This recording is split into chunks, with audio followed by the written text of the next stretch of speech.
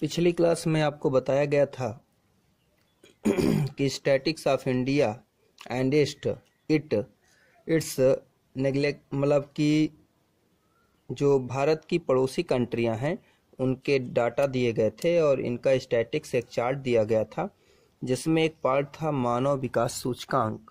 हमने बताया था कि इसमें सबसे अधिक अगर पड़ोसी देशों में देखें तो श्रीलंका का है सेवेंटी वन रैंक भारत की वन ट्वेंटी नाइन म्यांमार की वन फोर्टी फाइव पाकिस्तान की वन फिफ्टी टू नेपाल की वन फोर्टी सेवन और बांग्लादेश की वन थर्टी फाइव तो इसी को जानना है, ये रिपोर्ट जारी कौन करता है? किस मानक के आधार पर ये रिपोर्ट जारी होती है? इसके बारे में जानना है। तो मानव विकास रिपोर्ट, ह्यूमन डेवलपमेंट रिपोर्ट्स।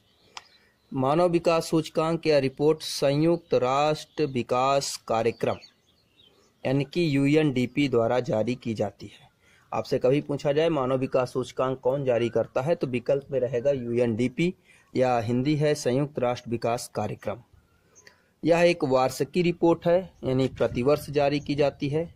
इसमें मानक क्या है, जीवन प्रत्याशा, औसत जीने की आयु, साक्षरता यानी शिक्षा, और आय यानी इनकम, इन मानकों के आधार पर प्रकाशित की जाती है। यूएनडीपी ने यह रिपोर्ट पहली बार 1990 में जारी की थी। यानी सबसे पहले 1990 में एसडीआई रिपोर्ट जारी की गई थी। 2019 में जो रिपोर्ट जारी हुई, उसमें एक नवासी यानी 189 कंट्री शामिल की गई थी। यानी the human development index and annual reports. Results by the united nation development programme, यानी यूएनडीपी। यानी कि united nation development programme. Based on standard of life expectancy यानी लाइफ एक्सपेरेंसी क्या है? एजुकेशन और इनकम। इन बेस के आधार पर यह रिपोर्ट जारी की जाती है और SDI report was first released in 1990 यानी कि 1990 में पहली बार रिपोर्ट जारी की गई थी। बाकी समझना है, इस बार एक सौ नवासी कंट्री, यानी 189 कंट्री इसमें शामिल हुई थी। इस विकास रिपोर्ट में समझना है कि यह मानव जो मानव विकास रिपोर्ट है, इसमें जो सबसे अधिक रैंक जारी करता है या प्राप्त करता है, उसे ह्यूमन विकास सूचकांक की फ़र्स्ट कंट्री शामिल की जाती है और जो उसको सबसे कम रैंक प्राप्त होती है, वो सबसे अंतिम यानी एक सौ नवासीवा कंट्री शामिल किया जाता है। तो होमवर्क है, इसको देखना है कि 2019 में जो एसडीआई रिपोर्ट जारी हुई, उसमें फ़र्स्ट, सेकंड और थर्ड नंबर पर कौन सी कंट्रियाँ हैं और सबसे अंतिम देश कौन सा है, जहाँ का ह्यूमन ह्यूमन डेवलपमेंट इंडेक्स जो है, सबसे खराब था या सबसे खराब स्थिति प्राप्त हुई है। इसके बारे में आपको ये, आपको सर्च करके इसे तैयार करना है।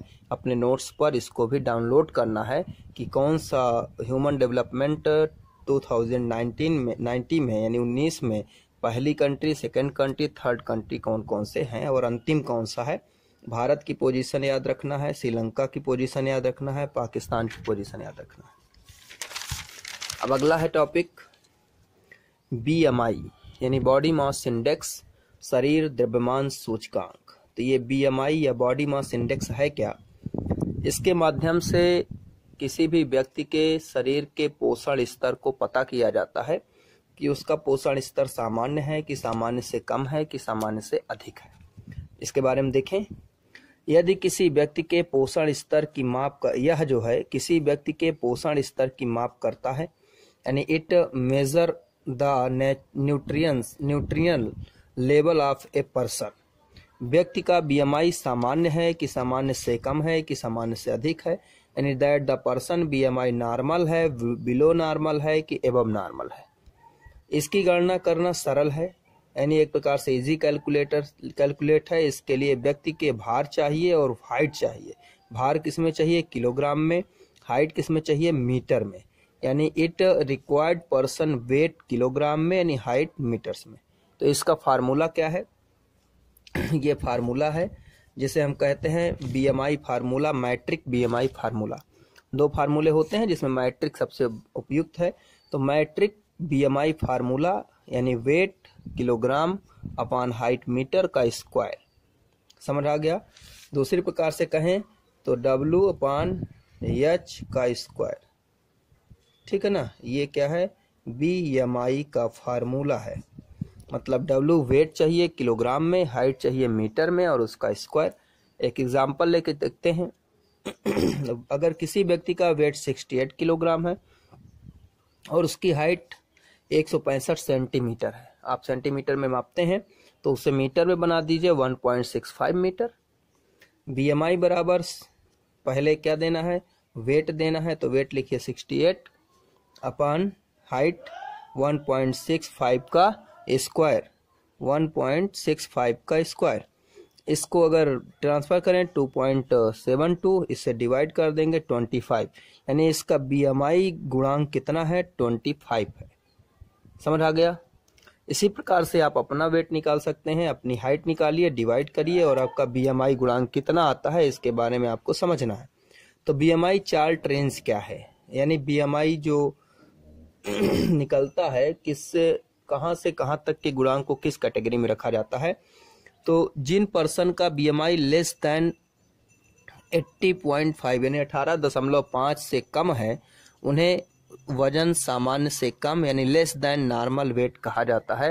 यानी कि उनका वज़न अठारह दशमलव पाँच से कम बीएमआई आता है तो मतलब उनका वज़न क्या है? सामान्य से कम है।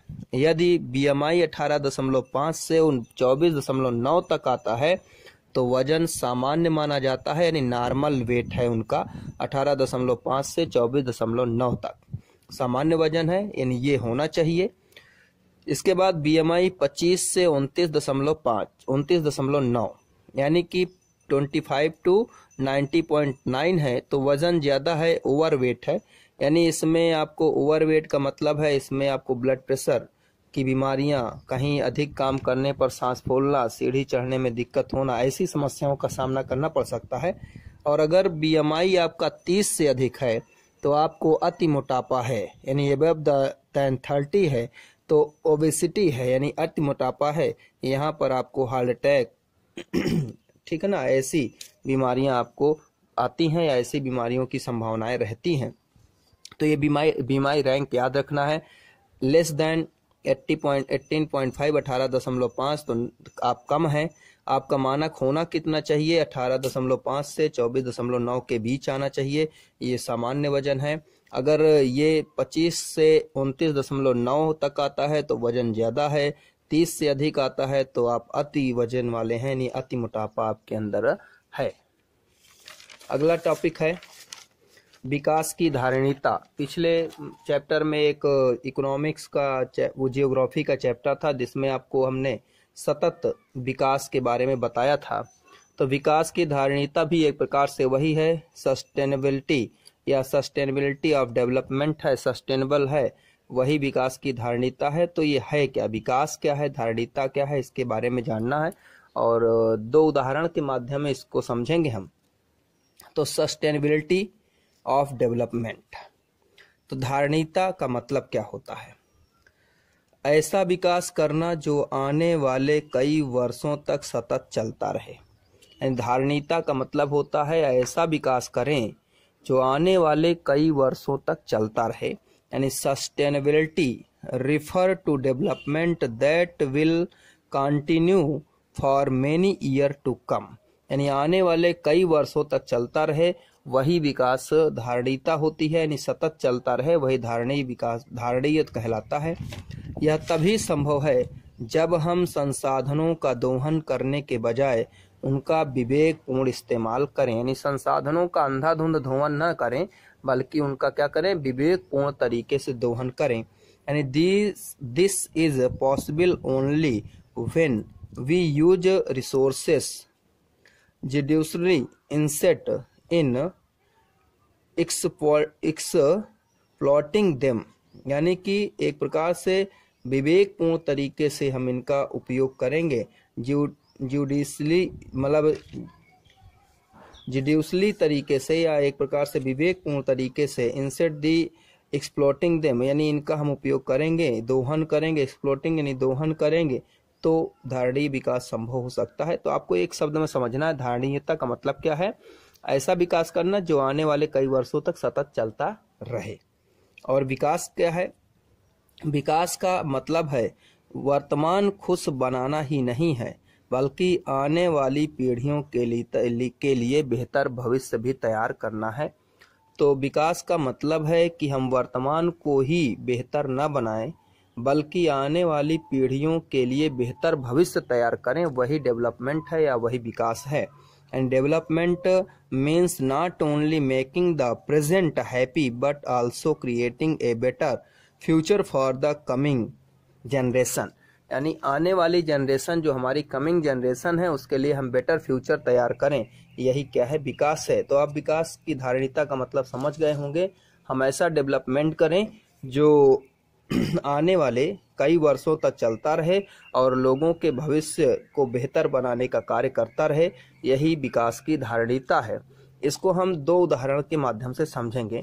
एक ऐसा उदाहरण समझेंगे जो रिन्यूएबल है, एक नॉन रिन्यूएबल है, दोनों के बारे में। तो पहला उदाहरण है, भूमिगत जल से देखना है, यानी अंडरग्राउंड वाटर नवीकरण साधन का उदाहरण है, यानी जो अंडरग्राउंड वाटर है वो नवीकरण साधन का उदाहरण है, यानी ground water is a example of the of renewable resources जैसे फ़सल, पौधे की की तरह इन साधनों की पुनः पूर्ति प्रकृति करती है। जैसे फ़सल है, पौधे हैं, उनकी पुनः पूर्ति हो जाती है, उसी प्रकार से इनकी भी पूर्ति होती है। यानी the resource are the resource of replay मतलब कि रिपीज कर दे या replenished by nature as in the case of crop and plants यानी जैसे क्रॉप और प्लांट्स का नेचर क्या करता है? रिप्लेसमेंट करता है, यानी फिर रिन्यूबल करता है, वैसे इनकी भी रिन्यूबल होती है। लेकिन यह, यहाँ भी हम इन साधनों का अति उपयोग कर सकते हैं। यानी how are even these recover में टू ओवर यूज़ यानी हम इनका अधिक उपयोग कर सकते हैं। जब हम इनका अधिक उपयोग करेंगे तो इनका जो रिसोर्स यानी कि जो रिन्यूबल स्पीड है, वो कम हो जाएगी। तो क्या होगा? जैसे भूमिगत जल का यदि हम बरसात के द्वारा हो रही पुनः पूर्ति से अधिक प्रयोग करते हैं, यानी बरसात से जितना अंडरग्राउंड वाटर रिसोर्स होता है, उससे ज़्यादा हम ट्यूबवेल के माध्यम से जल निकाल लें तो इन साधनों का अति उपयोग कहा जाता है। यानी in this case of underground water if we use more than what is being replaced by rain then we would by over use in resource यानी जब हम अति उपयोग, क्या है कि जितना रिन्यूएबल हो, उससे अधिक हम उपयोग कर जाएँ, उसे अति उपयोग कहा जाता है। तो अंडरग्राउंड वाटर इंडिया की कंडीशन देखना है। देश के कई भागों में भूमिगत जल का अति उपयोग होने की गंभीर एक मतलब उपयोग होने का गंभीर संकट है। यानी देश के कई भाग हैं जहाँ पर अंडरग्राउंड वाटर का अति उपयोग होता है।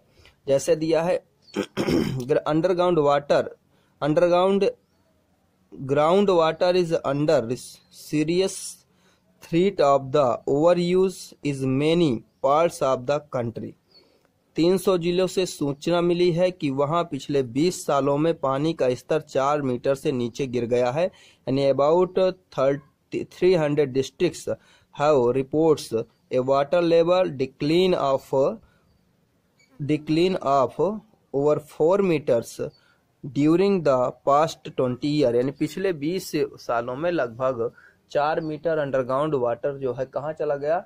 नीचे चला गया है यह रिपोर्ट प्राप्त हुई है। अब आगे देखते हैं उदाहरण दूसरा। हम क्रूड ऑयल की बात करेंगे। क्रूड ऑयल या मिनरल्स कर दीजिए। क्रूड ऑयल या कच्चा तेल की बात करेंगे। ये एक गैर नवीकरण साधन है। क्रूड ऑयल कैसा साधन है? गैर नवीकरण योग्य साधन है। तो क्रूड ऑयल या mineralise non renewable resource are non renewable resource है। जो वर्षों से प्रयोग के पश्चात समाप्त हो जाते हैं। यानी जैसे बताया गया कि जो अंडरग्राउंड वाटर है, वो रिन्यूएबल है। यानी कि वो रिन्यूएबल करता है, बराबर तैयार भी होता रहता है। तो जितना हम यूज़ करते हैं, वो तैयार भी होता है, अधिक यूज़ करते हैं, तब वह घटता है। लेकिन ये क्या है, इनकी मात्रा लिमिटेड है, सीमित है। इसलिए इनका हम एक निश्चित समय प्रयोग करेंगे तो एक निश्चित समय में समाप्त हो जाने हैं। जो वर्षों से प्रयोग के पश्चात समाप्त हो जाते हैं। इन साधनों का धरती पर एक निश्चित भंडार है, एक निश्चित मात्रा में इनका भंडार है और इनकी पुनः पूर्ति नहीं होती है। यानी those this will get exhausted after years of use, we have fixed stock on earth which cannot be मतलब कि एक प्रकार से कहें कि ये रिप्लेस्ड नहीं होते हैं कैन नॉट बी रिप्लेस्ड यानी पुनः पूर्ति इनकी नहीं होती है। तो क्रूड ऑयल रिसोर्स की एक रिपोर्ट देखनी है। रीजन्स हैं, यानी क्षेत्र या कंट्री कर दीजिए, region and country. Region thousands million barrel, यानी वहाँ पर कितने thousand million barrel crude oil है। और नंबर ऑफ़ ईयर्स यानी उस क्रूड ऑयल का हम कितने साल तक यूज़ कर सकते हैं। तो दो भाग दिया है, मिडिल ईस्ट। यहाँ दिया है eight hundred seven point seven million barrel crude oil है। और इसका हम लोग सत्तर ईयर सेवेंटीन ईयर तक उपयोग कर सकते हैं। यूएसए है, यहाँ पचास मतलब पचास कह दें या fifty thousand million barrel crude oil है और इसका दस दशमलव दुई पाँच ईयर यूज़ कर सकते हैं। लेकिन क्रूड ऑयल बहुत सी क्षेत्र हैं जहाँ पर क्रूड ऑयल की स्रोत नहीं है। वो लोग यहीं से क्रूड ऑयल मंगाते हैं। इसलिए वर्ल्ड की अगर बात करें तो one thousand six hundred ninety six point six thousands million barrel crude oil है। और इसका अगर हम उपयोग देखें तो कितने समय तक कर सकते हैं? पचास दशमलव दो ईयर्स यानी कि अगर हम जो हमारे क्रूड ऑयल उपयोग की गति है, उसी दर से हम इसका उपयोग करते रहे तो अगले पचास ईयर में क्रूड ऑयल समाप्त हो सकते हैं। यदि कच्चे तेल का प्रयोग वर्तमान दर से चालू रहे तो भंडार केवल पचास वर्ष में समाप्त हो जाएँगे। If the use of crude oil countries at the current rate then these resource reserve will be मतलब एक्साइटेड ओनली फिफ्टीन ईयर ठीक है? तो ये इसी प्रकार से समझना है कि अगर हम इसी स्पीड से इसका उपयोग करते रहे तो अगले पचास वर्ष में क्रूड ऑयल समाप्त होगा। आप एक्सरसाइज चेक करेंगे तो वहाँ इससे क्वेश्चन है। इसीलिए हमने उदाहरण समझा के बताया, जिससे आप क्वेश्चन को कर लें।